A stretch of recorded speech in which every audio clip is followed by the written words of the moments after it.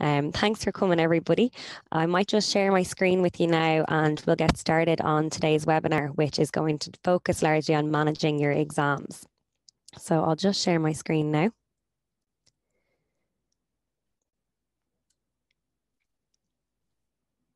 And from the beginning, okay. So I suppose just to give a bit of an introduction um, to myself and Alison, who are going to be presenting today's webinar. Um, so myself, my name is Ashlyn Claffey, and I work as an occupational therapist in Marino's Disability Service. So some of you may be familiar with me already. Um, and I suppose uh, in my work as an OT, I support students in the everyday activities of being a student through one-on-one -on -one meetings. Um, and Alison is here with us today as well. If you'd like to introduce yourself there, Alison. Thanks, Ashling. Yes, I provide academic support. I'm an educational psychologist, so my focus is very much on the psychology of learning. And that's what I bring to the individual sessions that we provide to students in Marino and in Trinity College Dublin. Okay, great. Thanks for that, Alison.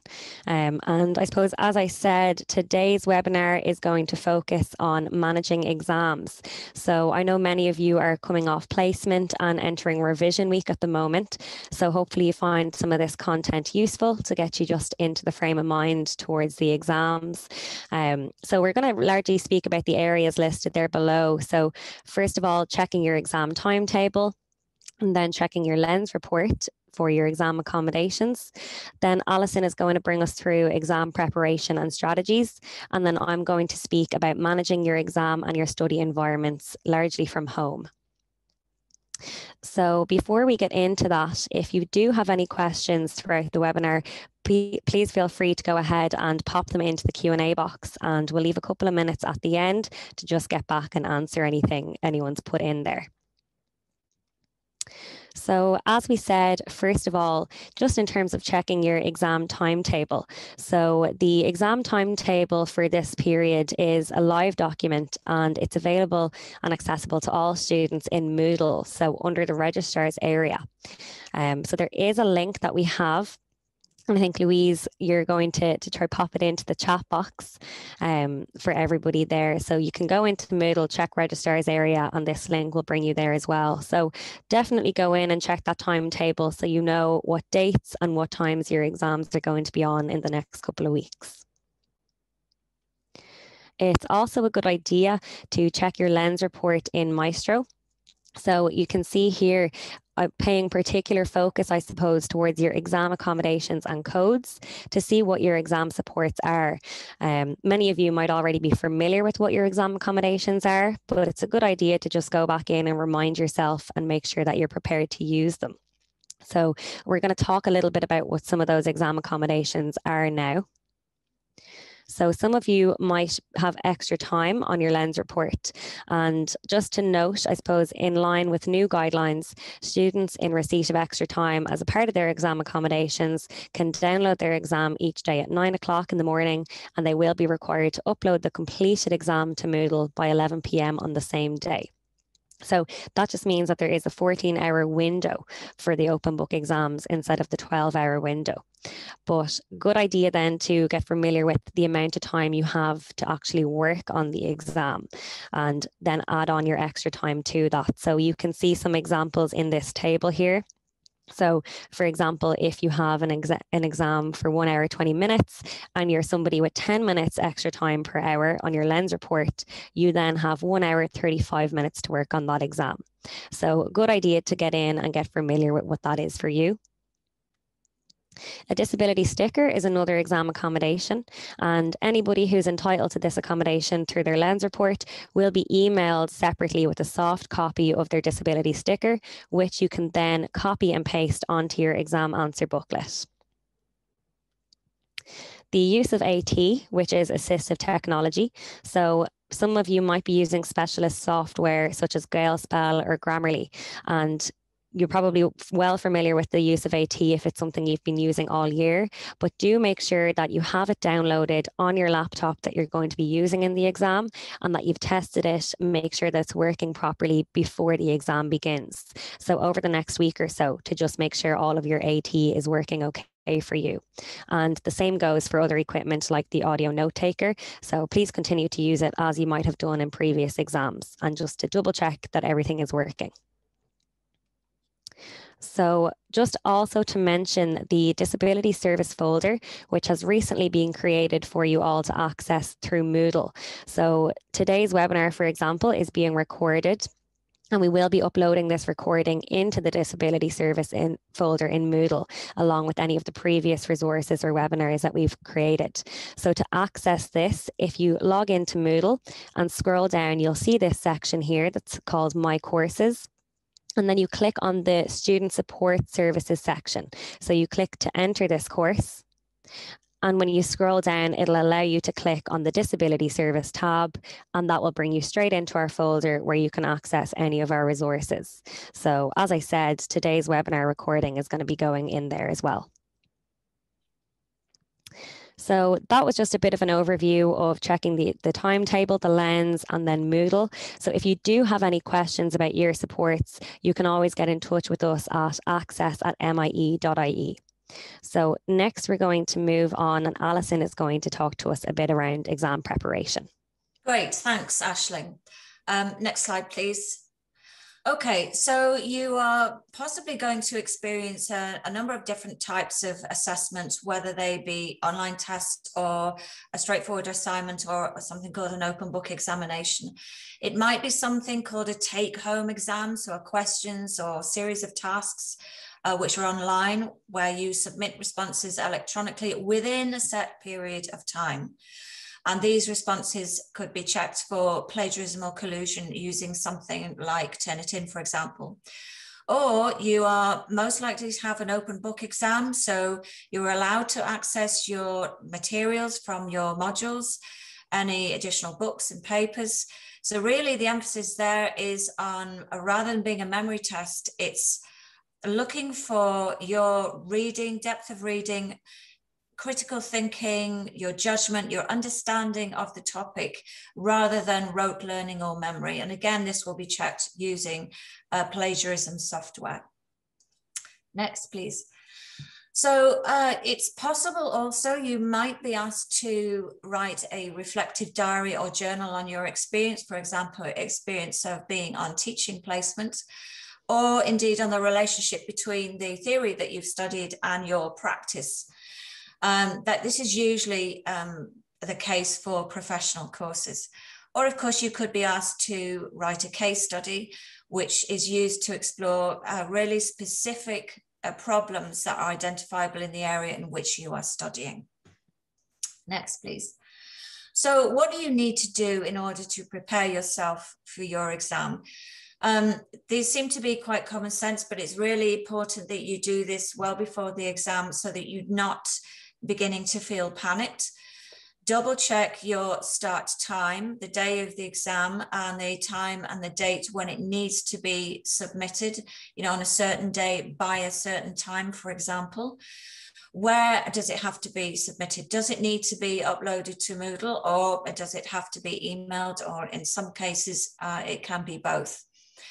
So as Ashley mentioned, how much extra time are you being given to complete the exam? And what is useful to do here is Ashley showed you the table on um, how to add your extra time on, but I would also suggest that you make it very clear to yourself, write this down at what time you start and at what time you finish with that extra time so that you can keep an eye on that uh, using your clock. So in terms of the topic areas of the exam, this is where you need to be really careful about interpreting what the exam or assignment question is asking you to do. What topic areas connected to your modules is it asking you to consider? Check how long a response is required uh, in terms of the number of words, whether you need to include any references, and what type of response is it? Are they short paragraph questions? Is it a, a full length essay? Or do you have to, for example, provide some kind of presentation? Next, please. Now, as Ashling said, it's very, very important to check your equipment uh, in advance of starting the examination. And that includes things like making sure the laptop is actually plugged in. Um, so we all do it. Um, we don't necessarily plug the lead in, and then it's only when the computer uh, lighting starts to dim that we realize that actually we didn't connect it to um, the plug. Check what kind of a battery life you have, even though you may be connected um, with the cable. I would also suggest you make sure that there is 100% battery life in your laptop or computer. Are your headphones and your microphone working? You may need these, especially if you're using voice dictation software. Uh, internet connection, obviously very important. And something Ashling will be talking about later in terms of your personal comfort, that is the uh, level of lighting and temperature in the room. Again, what specific software will you be using? Will you be using Dragon NaturallySpeaking, which is speech to text dictation, or Texthelp read and write or Grammarly, are these installed on the computer that you're using and are they functioning correctly? And that's the same for Microsoft 365 products uh, such as Word um, or unlikely that you'll be using Excel and possibly PowerPoint. Also, uh, make sure that you have you know, a pad of note paper, pens and post-it notes, because the last thing you want is to use valuable exam time sort of scrabbling around trying to find these things. And then again, as I said, Ashling will go into this in more detail, but have you set up your exam view, venue correctly? Um, are you positioned in the right place in the room, which will help you to focus. Next slide, please. So what do you need to do in terms of preparation? Um, it's much more reassuring if you know that you have everything to hand and it's really useful to be organized about this. So either get a box or a basket and make sure that all of your notes, handouts, etc., are to hand. So put them into, physically put them into files by, or piles by topic, for example. Um, if you are using digital resources, so PDFs or Word documents or slides from your lectures, make sure that you have filed these perhaps on the desktop of your laptop or your computer, again by subject matter or by topic, so that in the course of your exam, you know exactly where to go to to find those resources. And it's a good idea to begin doing that now rather than on the morning or the day of the exam. Um, it saves you time knowing that everything is to hand and can be found easily because it's very disconcerting to realize that there was a piece of useful information or material that you had, but you, you can't now find it. Next, please. Now, this is a fantastic video that I discovered on YouTube. This student is a student of law and business, if I remember correctly but the technique that she describes and in terms of creating an annotated um, book of lecture material and notes and indexing these so that you can find uh, topic areas really quickly. It's a really excellent video. It's only about five minutes long and I really recommend that you view it because there are some strategies here that you might find very useful. Yeah, I think, and Louise, I think, has just popped that into the chat box if anyone wants to access that link. Great. Um, again, making sure that you have post-it notes or sticky tabs to hand. Um, it's a good idea to do this in advance. If you're working from quite a dense amount of material, perhaps text that you have in, in advance, put those tabs or post-its into the pages that are going to be most useful to you before you begin the exam. If you work from mind maps or index cards, make sure that you have those organized as well. A list of definitions or glossaries or abbreviations. And we do have, I think in some of our materials in Moodle, um, for example, documents on what essay verbs mean. So how you are supposed to address the question. And then uh, review the list of topics that have been covered in each of your modules uh, during the course. So what are the main themes? What are the learning outcomes? What are the key concepts? Who are the key theorists? and what do they say so that you have a kind of shorthand version of all of that information that you can refer to quickly. Now, some uh, brief exam strategies that I think you might find useful. So it's really important for you to understand what the purpose of this assessment is. Really, it's asking you to demonstrate that you understand the material, that you understand how to research that material, to read for meaning and understanding, and to reference correctly. So it really is not um, um, a method of trying to um, test whether you've forgotten something or to find out what you don't know. It's an opportunity for you to demonstrate what you do know and what you do understand of your course material. And that you can interpret what the requirements of the question are, that you can find that relevant information, that you can take good notes and acknowledge the source. So you need to do all of those things and organize this into a really structured concise, coherent response, and that's usually in the form of an essay.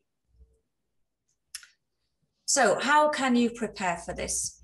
Well, your professor, your lecturer may have provided some sample questions. Uh, there may be a previous essay questions or exam uh, questions available to you um, from previous years. It's a good idea always to practice those.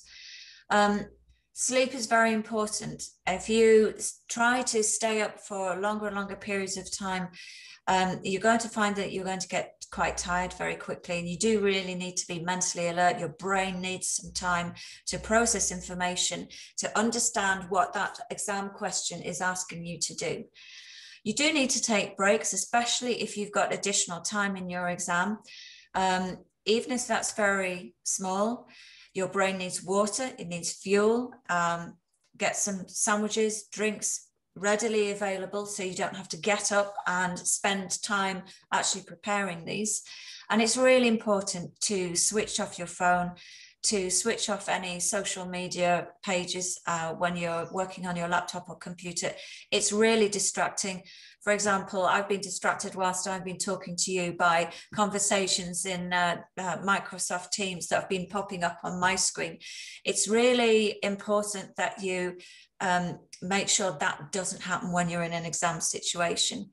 Um, so that's that would be my advice in terms of getting ready for that. So it's not an, um, a situation where you need to overly panic. Uh, an open book exam is not really very different from sitting down to write an assignment home. It's just in a shorter amount of time. But if you do that preparation, that shouldn't be an issue. It's very important. I know it's difficult when you're nervous and your stomach's kind of churning, but you really do need to have breakfast. Uh, because your brain needs that food. And this is the time when you should allow yourself to have the food that you want. So if like me, that you would really prefer a crisp sandwich at eight o'clock in the morning, then have one. You need to make sure that you are, it's really satisfying yourself if you're with your additional time, um, your exam period is going to go over into quite an extended time, you should actually take a break every couple of hours. Even if you stand up from the desk where you're working and you shake it out, you do some stretches or you walk around the room. So it's very important to plan out the amount of time you're going to spend during that exam. So take the period of the exam time plus your extra time and plan out how much time, how many minutes you're going to spend on looking for the content for your answer amongst all of your materials, reading that content, and then writing that down as an essay response. So read the exam question and the instructions carefully what exactly have you been asked to do? Uh, part of this is actually breaking down the exam questions. So I've put an example question up here. Um, sometimes it seems like there are a lot of words. Sometimes uh, an exam um, question might include a quotation, for example. Often this is filler that is not necessary to your response, but we have to break down the sentence. So what is this question looking at? It's looking at drug use, women, poverty. So those are the th three core uh, concepts that you're going to need to discuss and to link. So organize your response, open your Word document and type in a set of headings. Type in that question, but type in some subheadings, which you can delete afterwards, drug use, women, poverty. And then you're going to organize your thoughts into a set of headings. And it's very important that within those headings, they contain the points that you want to make. Don't use too many quotations. Um, the purpose of the exam is to make sure that you demonstrate your understanding of the topic. So you need to re-explain the information that you've discovered. Uh, submitting an essay that's full of quotations is as bad as plagiarism in many respects. So paraphrase and reference this. Um, don't include uh, the content of all of the material, lectures, tutorials, articles you've read, book chapters, notes, because it's not possible to cram all of that into your answer. The lecturer is looking for accurate, concise, thoughtful, reflected evidence that you understand the question. And when I said, mentioned just now about putting points into headings, those points need to be very specific. What is the point that you're trying to make? How does it relate to the question? What evidence or example you can provide to support your point? And then what is your explanation or evaluation? So if you say to yourself, that pretty much in every paragraph, you need to present this. It's called uh, a PEE. So you need to make your point, you need to give an example, and you need to explain how that's relevant. If you've managed to do that in every paragraph, then you've written a, a robust essay. So in terms of the actual writing, um, the language that you use, do try to maintain an academic tone. Um, you shouldn't be using slangy or conversational or everyday language. Your writing voice should be clear and formal. Um, there's quite a good resource here called the Academic Phrase Bank. It's a collection of sentence starters or phrases which really set the right academic tone for your writing. Because sometimes it's quite difficult for us to think about, oh, I know what I want to say, but how am I going to begin that sentence? So the Academic Phrase Bank collects all of these together. Uh, they're not considered to be plagiarism. You can use them in your writing because they're content neutral. They're not about anything. They're just useful sentence beginnings.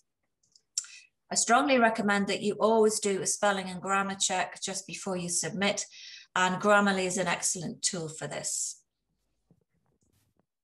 Great. And I think um, Louise has those two links, so Grammarly and the phrase bank as well, that we can pop into the group chat. Saves a lot of time.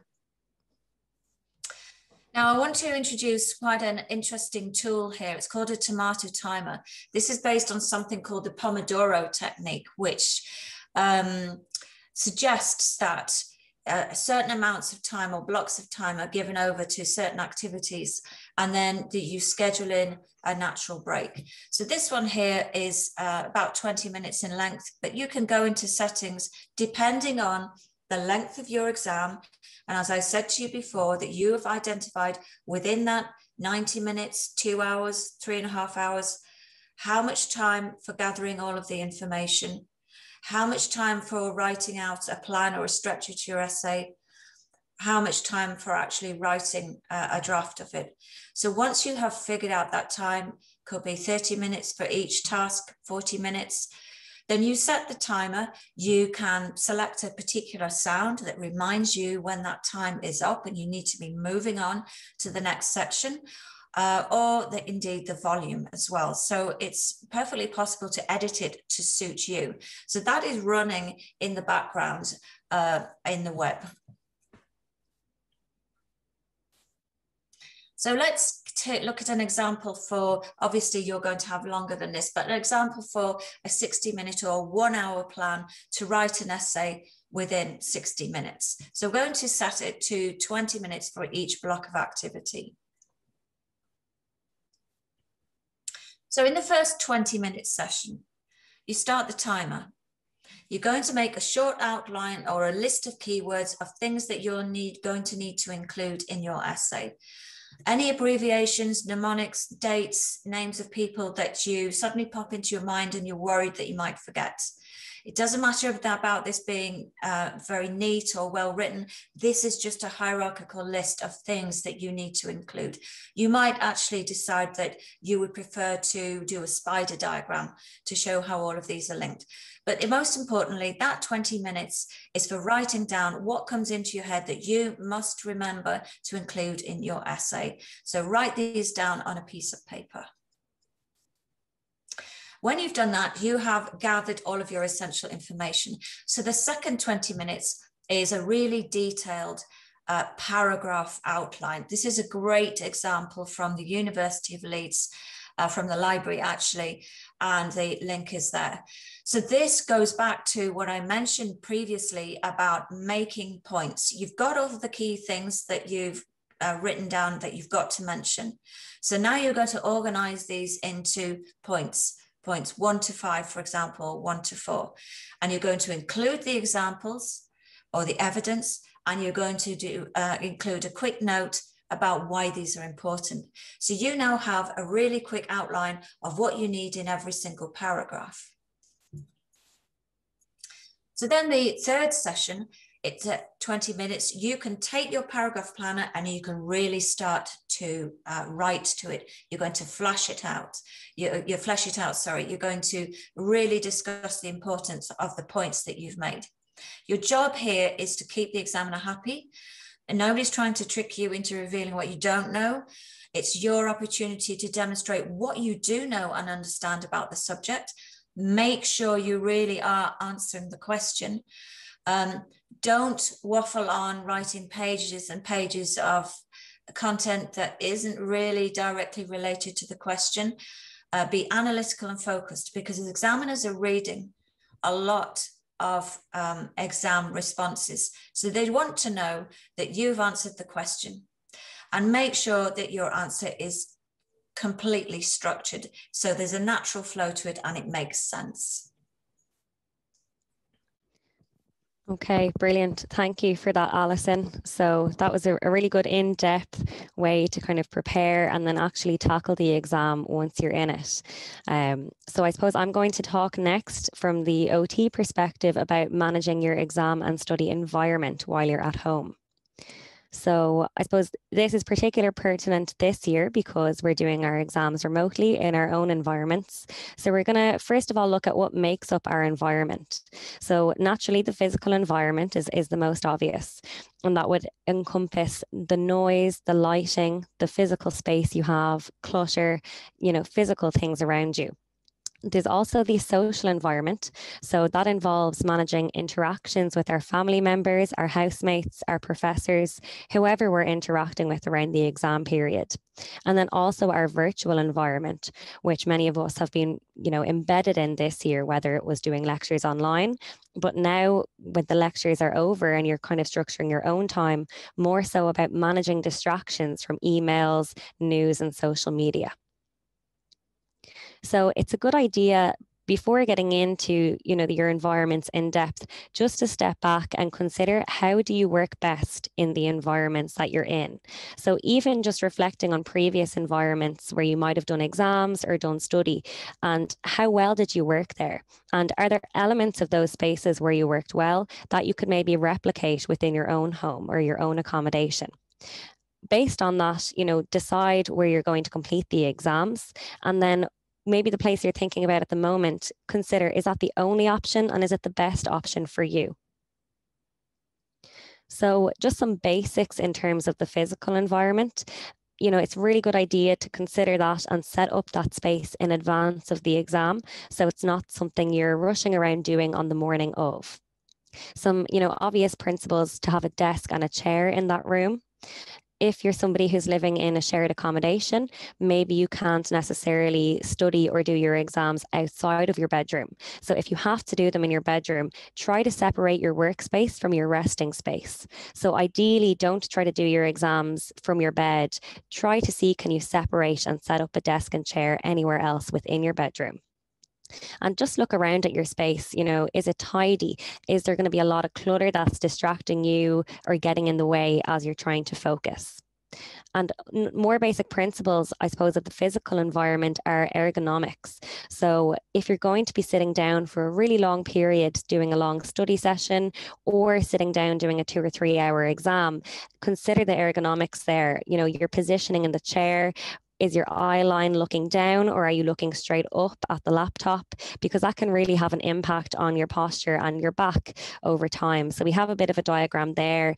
But additionally, I, I would suggest going onto our website and taking a look at an ergonomic guide just to give you some more ideas looking then at the visual aspect in particular of your physical environment. So I mentioned earlier, just reflecting on previous spaces that worked well for you and try to think about what were the visual aspects of those spaces and can you replicate that now wherever you're going to be doing your exam from home? So are you easily distracted by visuals such as posters or photos? If so, do you need to clear them off your wall for the week that you're doing the exams and put them somewhere else? Are you near a window? And, you know, does that natural lighting help you?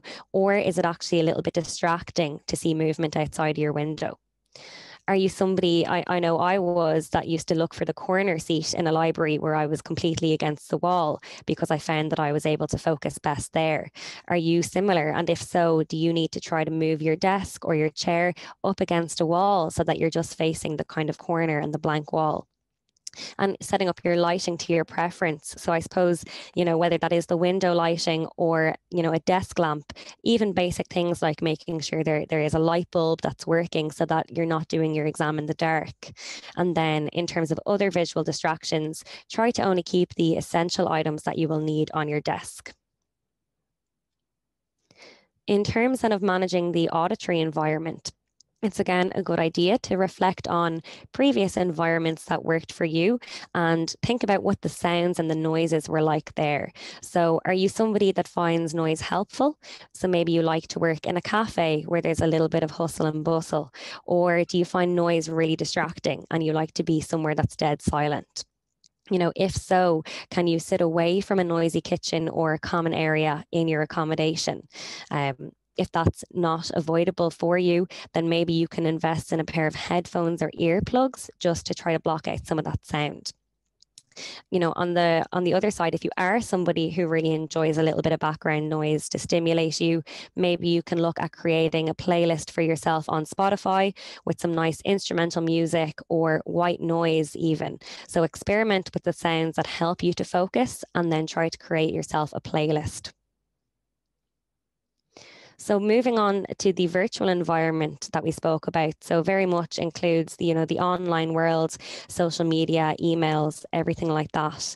Um, so as Alison mentioned, you know, really trying to get a handle on these distractions because it's something that is a lot harder now you know when everybody is working from home so because you're no longer in lectures it is up to you to create your own you know study timetable and your own routine over the next couple of weeks. And i would really advise setting aside designated times to manage your emails and manage your social media so that you can get a bit more control over that if you are somebody that finds it really difficult to manage distractions or to stay away from your phone, I would suggest investing in one of these internet blocking apps, such as Freedom or Cold Turkey. So you can actually set a list of apps or websites that you would like to block and choose the amount of time you'd like to block it for. Um, I think Louise is again popping the links to these two websites into the group chat. So, looking at the social environment then and how that might impact you around your exams, it is a good idea to let anybody that you're living with, whether that's friends or family, over your exam timetable and make them aware. So, agree on quiet times with your housemates of when you're going to be doing the exam and when you might need them to be quiet or not to barge into your bedroom. So, you know, even if you do need to put a reminder or a poster on the door, such as this one here in the diagram, um, you know, I've had students before say that they were doing their exams next to a window and the postman came knocking on the window to, to deliver a parcel and that totally interrupted them in the exam. So maybe it's something you even need to shut down the blind and put a poster like this on your window or on your front door if there's a lot of deliveries coming in and out throughout the day Um, you know, again, we mentioned the phone, and in terms of managing your social environment, that might look like managing your phone and keeping that away when you're in the middle of the exam. So, again, link in with your friends even the friends you don't live with to just let them know okay i won't be available during these times on these days but then definitely try to meet up with them afterwards and make some plans you know for your evenings or for the weekends during the exam week to go and meet your friends so, movement, I suppose, is another aspect. So, movement within your environment and how you might be able to incorporate this in. So, if you're going to be studying and doing the exams again for long periods, it is a good idea to try to take some regular breaks and incorporate movement into the day. You know, even trying to incorporate movement while you're studying can be useful. So, maybe you have a gym ball that you can sit on instead of a chair maybe you can kind of walk around or pace around the room while formulating ideas or trying to learn something. And you know looking at your space is there somewhere you can stretch somewhere you can lie down and stretch out for a little bit if you need to? And then maybe you're someone who finds you know that keeping your hands busy actually helps you to focus and concentrate. So whether you're you know using a fidget toy a stress ball or a pen if you need that to focus try to have a couple of items to hand there and then, you know, lastly, just some additional tips for managing study and exams over the next couple of weeks. It's a good idea. Alison has already spoken about water and food and how that really will be necessary to give you the energy and to keep you going. But even in terms of the exam, you know, planning to have something next to you, like a glass of water or a snack if you need. Thinking again about the clothes that you're wearing. So making sure that you're comfortable and you're able to kind of feel relaxed for a long period of time. In terms of props, I know Alison has mentioned some really good timing techniques using the Pomodoro website. So that's a really useful prop. And then maybe you're somebody who uses a clock, an alarm, or an egg timer or something like that. So if you do use those, trying to keep those to hand as well. And then I suppose lastly, a really important point I want to stress to stress is rest. Um, so you know, even if you have that 14 hour window, it's likely that you, you're not actually supposed to be working on the exam for that amount of time. And don't try to work all hours and stay up throughout the night. I suppose it's not something you would have done previously when exams might have been in person. So definitely make sure that you're switching off and getting a lot of really good quality rest as well. So that brings us then to the end of the webinar on managing exams.